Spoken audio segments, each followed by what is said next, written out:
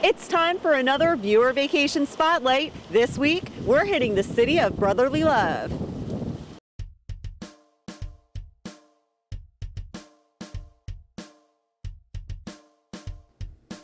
Love Park and the Rocky Stairs are two peaking Philadelphia attractions. If you invest time at the Philadelphia Museum of Art, the Japanese Tea House is a must see, along with many iconic artists such as Monet, Van Gogh, and Philadelphia native Thomas Eakins.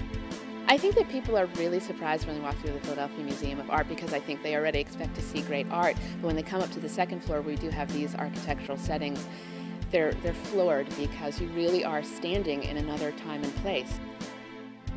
In Philadelphia's historical district, steps away from Independence Hall chimes a symbol of freedom. The Liberty Bell was brought over from London in 1752, proclaiming a city icon.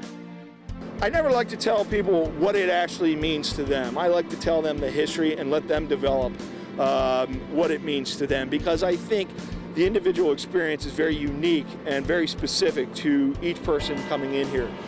In order to be considered a die-hard Philly fan, you must do two things support their local sports teams.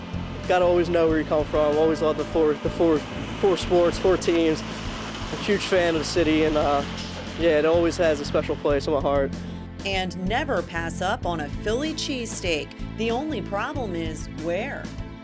Some people may argue that uh, Jim's is the best place in the city, and of course you got to go to Pat's and Geno's to try out which one's best for yourself.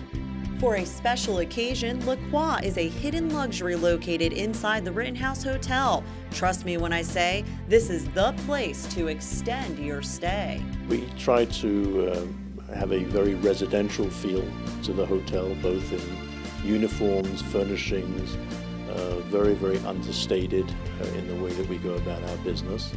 And yet, uh, we like to personalize uh, the, every opportunity we have with our guests. Gain full access of their gym or spa and enjoy a soothing cup of tea later. Sit back, relax, and indulge in life's greatest pleasures. Don't let looks deceive you either. Hidden treasures lie in store for the kids. That's right, the Five Diamond Hotel makes it a night to remember for the entire family.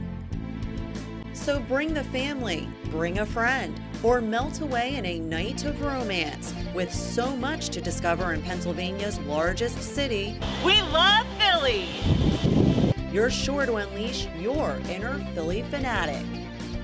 Bringing you all of the action in the city of brotherly love, I'm Malissa Grimsley, TV2 News.